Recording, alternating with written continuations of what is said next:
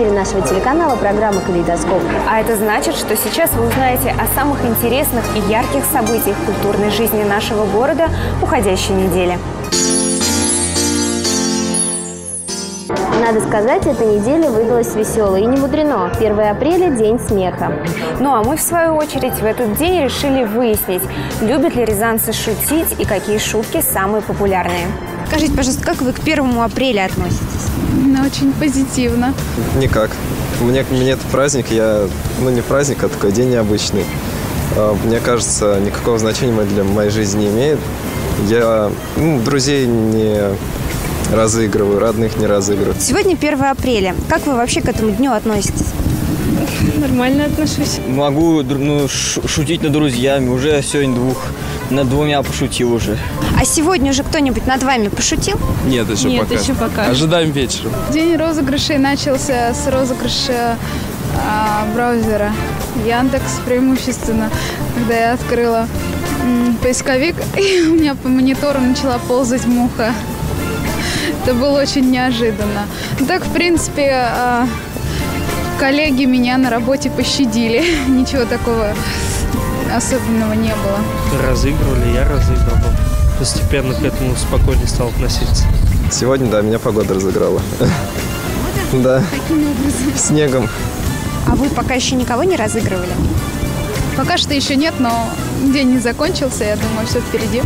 А у вас нет какой-то коронной шутки, которую вот вы всегда э, применяете к друзьям, коллегам 1 апреля? А, ну, в основном друзья ко мне применяют, они я, я так не люблю подшучивать над друзьями. А вот из предыдущих лет не можете вспомнить какую-нибудь смешную шутку, которая удалась? Либо у вас, либо у ваших друзей? Ну, спрятали ключи от моей квартиры, друзья. И сидели караулили, ждали, что я буду делать. Я им звонил, чтобы у них дома посидеть немножко, пока не придут родители. Им, да. Тоже. В школе было много веселых моментов и все. Кнопки ложили учителям. Кроме того, что у меня там спина белая, ничего не приходит в голову. Ну что ж, как мы выяснили, противников у этого веселого дня в нашем городе практически нет. Наоборот, есть сторонники. Например, фотограф Александр Сорокин приурочил к этой дате свою веселую выставку. Фотохудожник с 50-летним стажем считает, что 1 апреля – это прекрасный повод для того, чтобы посмеяться над собой или над окружающим миром. Так что именно в этот день он решил открыть выставку фотографий, которые, с его точки зрения, смогут вызвать улыбку у посетителей муниципального культурного центра. Она называется «Это круто». Но объясню, что такое «это круто». Там вот э, потом посмотрите. Как-то давно тоже было. э, Кто-то что-то сказал «круто, круто». Э, А я стоял около э, бильярдного стола. Ну, что-то прям на следующий день пошел, купил яиц, две сеточки. Э, это, пришел на этот спортивный зал, выложил эти яйца, сколько там поместилось, я уже сейчас не помню, но там что-то больше трех десяточков получилось. И знал, что там в одном месте стоит гнутый лом. Ну, пошел э, ну, к другу токарю, говорю, Толян, можно загнуть? Он мне еще там загнул эти э, загибы. Ну, и вот положил на этот бильярдный стол, ну, назвал тогда «Это круто». Все работы Александра Сорокина отличаются большой оригинальностью. Сам фотограф утверждает, что идея ему подбрасывает сама жизнь. Под его чутким руководством буханка хлеба превращается в необычное существо с большими глазами.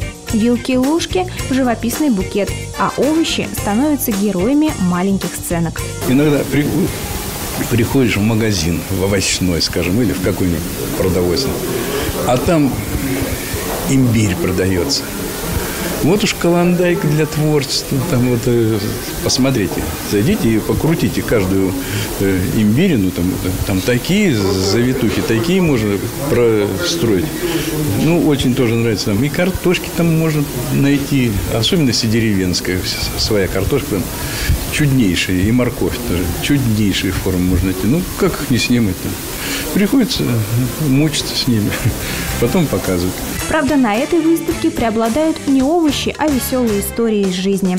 Забавные названия, нелепые надписи и милые животные. А это вот фотография был где-то на Кубани, тоже с еще э, давно.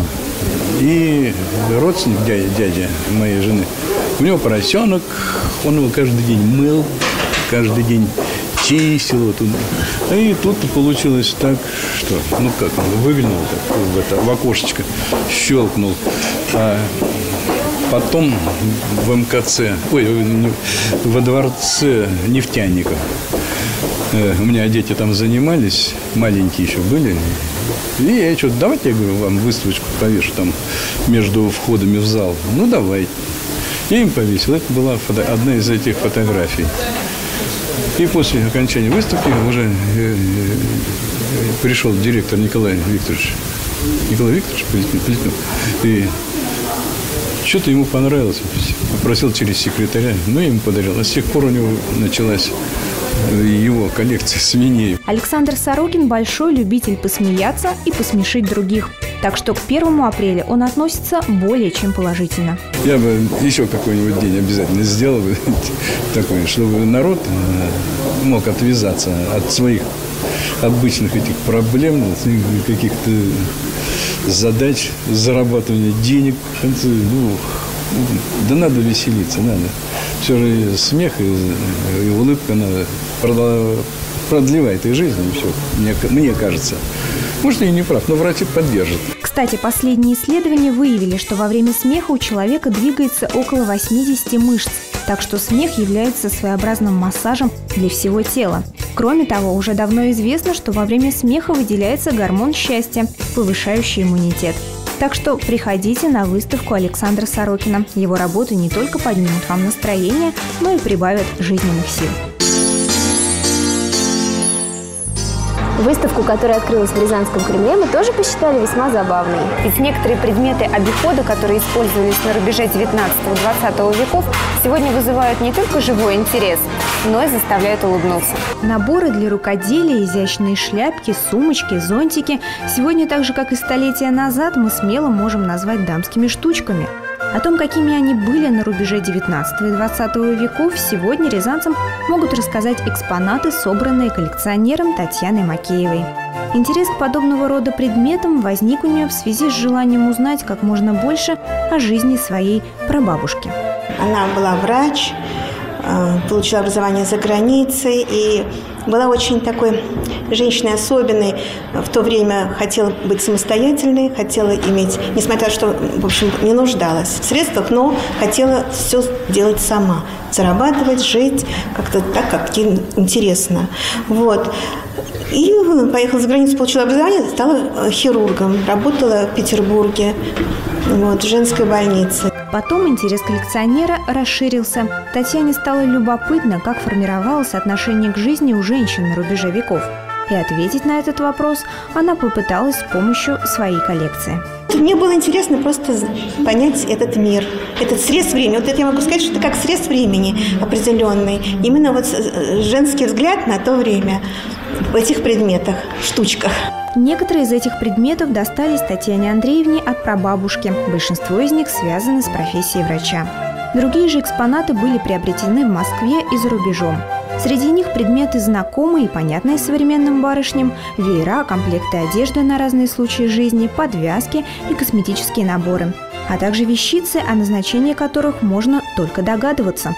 Попробуй разберить, для чего нашим прабабушкам могло бы понадобиться вот такое зеркало на длинной ножке. Это в театре, допустим, дама хотела бы посмотреть, что происходит за ее спиной. Э, там, допустим, где находится ее поклонник, с кем он там разговаривает или флиртует. Набор серебряных крючков также вызывает массу вопросов. Крючочек это был необходим для того, чтобы затягивать корсет. Или же затягивать ботиночки. Они были достаточно высокие, и нужно было их, конечно, шнуровать. И это требовало времени и сноровки. Вот чтобы это делать, был такой вот крючочек. Все на этой выставке необычно и притягательно, особенно для женщин. Здесь можно увидеть купальный костюм и переносной душ, изысканные наборы для письма, старинные пластинки, игры и даже куклы. послевоенная какая-то такая мода появилась э, украшать свои э, гостиные вот такими куклами крупными, большими. Это крупная кукла до 7 сантиметров, до метра доходила. Вот такие вот они сидели как прям настоящие дамы в креслах, диван, на диванах, в подушках. Ну вот в них не играли. Между прочим, личико это папье-маше сверху шелком обтянутый, поэтому всегда носик бедненький, он страдает прежде всего. Ну вот она такая раскрашенная, красивая, вся такая дама. Не обошли стороной мужчин. Целая витрина заполнена забавными приспособлениями, среди которых есть даже чашка для мужчин с усами. В ней предусмотрен внутренний щиток для их защиты от влаги и пара. Ведь усы укладывали воском, который мог расплавиться и испортить внешний вид. Кто знает, может быть, те вещи, которые мы используем в быту сегодня, через сотню лет также будут вызывать улыбку у наших потомков. Ну а пока было бы неплохо окунуться в мир ушедшей эпохи. Выставка «Дамские штучки» будет работать в Рязанском Кремле до 23 апреля. Ну а в Центре народного творчества вы сможете познакомиться с работами рязанской мастерицы. На этот раз наши зрители представят вышивки и изделия из бисера. Персональная выставка мастерицы из Рязани Елены Алтабасовой проводится в рамках цикла мероприятий «Мастера Рязанщины», организованных областным научно-методическим центром народного творчества. Мастера живописи, фотохудожники, рукодельники будут представлять в залах ЦНТ свои работы в течение всего года. Еще будет одна большая выставка, именно областная, где будут участвовать мастера со, со всех районов нашей области. Будет она называться а, «Все, что при лестнице надо». Там будут аксессуары, детали костюма, украшения. Вот все, что связано э, с тем, что нам, женщинам, очень мило, близко и, и понятно. Вот, э, работы будут представлены в различных техниках, там ограничений нету. То есть э, любые виды декоративно-прикладного искусства, да, вышивка, ткачество, бисероплетение, изделия из бумаги, из кожи, ювелирные какие-то изделия. Вот как бы уже были даже у нас такие прецеденты, что даже ювелирные украшения серебра были представлены авторами нашими рязанскими. Вот. Выставка будет достаточно интересная. Будет она проходить в сентябре месяце, когда все уже наполнившись теплом лета вернутся с отдыха и будут радовать нас замечательными своими изделиями в стенах Центра народного творчества. И рождается чудо – экспозиция, на которой можно увидеть вышивку и изделия из бисера. Четвертое в череде мероприятий цикла. Елена Алтабасова, автор представленных работ, всю жизнь посвятила рукоделию и ныне передает секреты своего мастерства, обучая юных мастериц.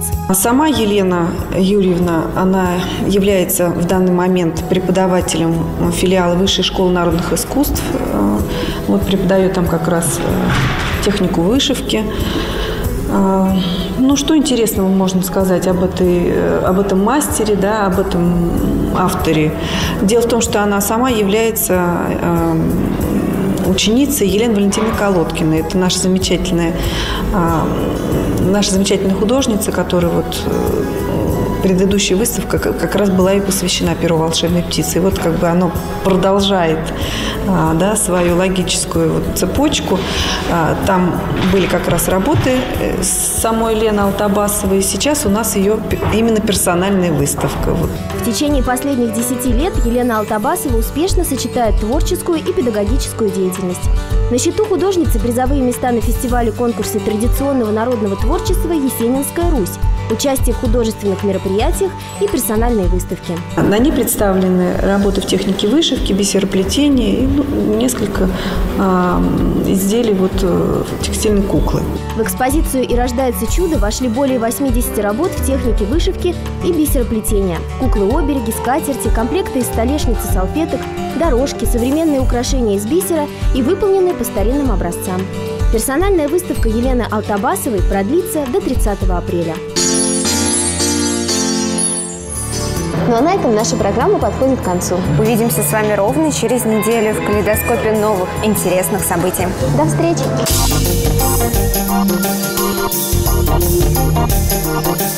Thank